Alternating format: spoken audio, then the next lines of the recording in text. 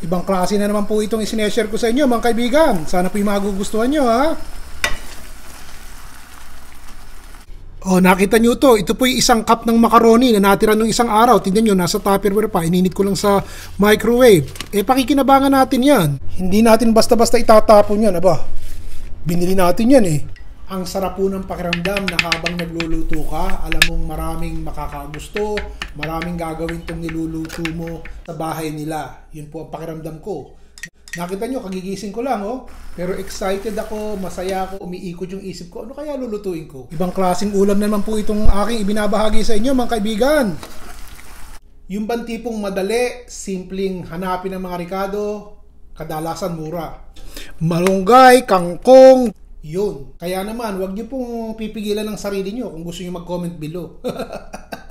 Yan po ang motivation ko. So bago tayo magsimula, magsulat na kayo. Babasahin ko. Salamat po. O ito yung macaroni na tinadtad natin, no? Nakita niyo ba to kung gaano kapino ang paghihiwa ko nitong natirang repolyo? Parang isang cup po ito eh. O ito po ay ilalagay natin dito. Naituro ko na sa inyo paggawa nito ha. Hindi na po kayo kinakailangan talagang bumili nito at may kamahalan sa Pilipinas. Ito pong ating sun-dried tomatoes na ito, eh, hiniwa-hiwang maninipis na kamatis lang. Ibibilad nyo sa araw. Maglagay po tayo ng asin kasi ang asin tatanggalin ng tubig ng kamatis. Pwede siyang lagyan ng papel o kaya ng tuwalya para hindi po langawin o malagyan ng dumi. Bilad nyo po sa araw ng mga ilang araw hanggang sa matuyo. Hindi po masyadong mainit at uh, sikat na sikat ang araw dito sa lugar ko kaya ganito lang ang nangyari eh. Pero isipin nyo parang lapa kayong uh, nagpapatuyo ng dahon ng gabi. Ganon. Tapos lagyan natin ng konting olive oil. Ayan. O ito na po, nakagawa na tayo ng sun-dried tomatoes. Dalawang lata po ng tuna na tinanggal ko na yung tubig, yung mantika. Hmm, lagay ko dyan. O konting paminta. Konting asin, bahala na kayo sa alat. Ito na naman tayo sa katitik na asukal. Pambalansi yun, kung ayaw nyo lagyan, bahala po kayo. O maglagay po kayo ng berde. Ito, basil o spinach, malunggay, kangkong, dahon ng kamote.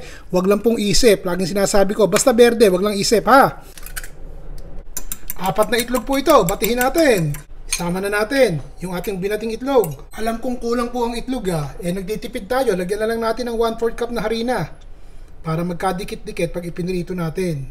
Isip kayo ng mga paraan kung saan kayo makakatipid. O katulad nito, alam niyo naman ang harina. Pag yan ay sinama nyo sa anumang lutuin na may kasamang itlog, siguradong sigurado kayo pag pinrito nyo, magkakadikit-dikit.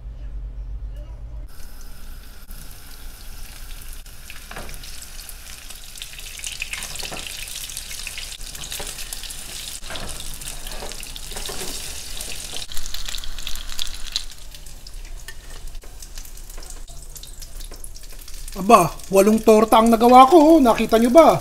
Hmm, tingnan nyo to. Pwede nyo ibenta yan ng 30 isa. May kasamang kanin, 50. Hindi ko po mapigilan sarili ko eh. Sandali, titikman ko ha. At baka mapahiya ako sa inyo. Pero sa tingin ko pa lang eh, mukhang magkakausto tayo eh. Hindi ba mukhang pamilyar sa inyo itong sarsang nakikita nyo? Katulad po ito nung sarsa nung aking isinire sa inyo nung isang araw. O, lagyan na po natin ng bawang. Sandali nga, malagyan nga ng mantikilya. Isang kutsara. Ito lang po ang halo nito. Oh. Carrot, natira lang eh. Hmm, yan.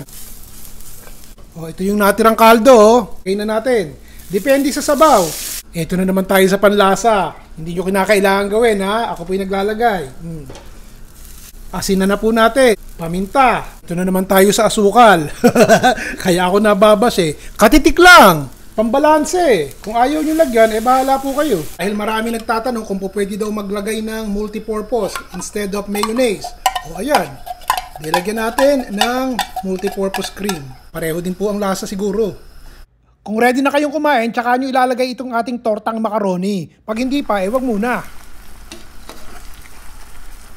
Yan ang ulam natin ngayon. O nagustuhan nyo po ba? Tutuloy ko na yung pagkakapi ko.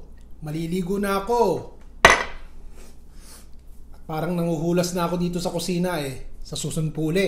Maraming salamat dun sa comment nyo.